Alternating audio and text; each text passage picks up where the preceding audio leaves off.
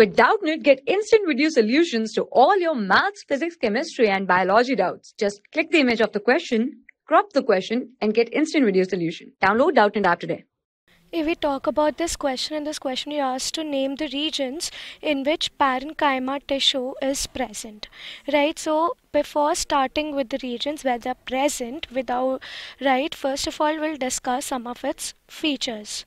Right, so the very first feature that we get to see in parenchyma tissue is that, uh, you know, it's a simple permanent tissue as in it consists of simple cells right? The cellular structure of the parenchyma uh, tissue is very uh, simple right? Other than that the second feature that we have here is that uh, the parenchyma tissue is composed of living right? Living undifferentiated right living and undifferentiated cells right.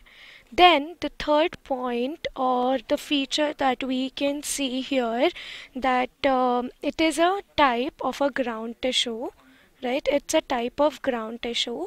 Also its uh, cell walls right its cell walls are made up of the cellulose right? The cell walls are made up of cellulose.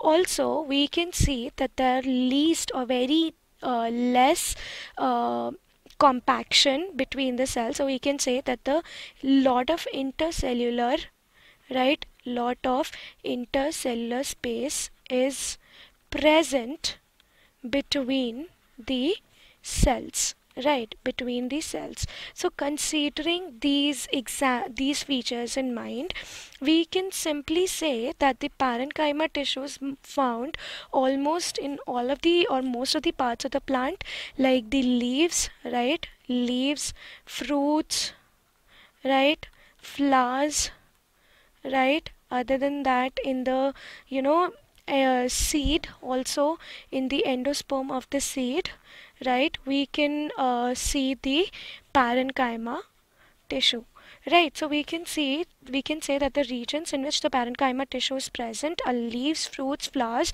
and endosperm of the seed right? For class 6 to 12 IIT JEE and NEET level.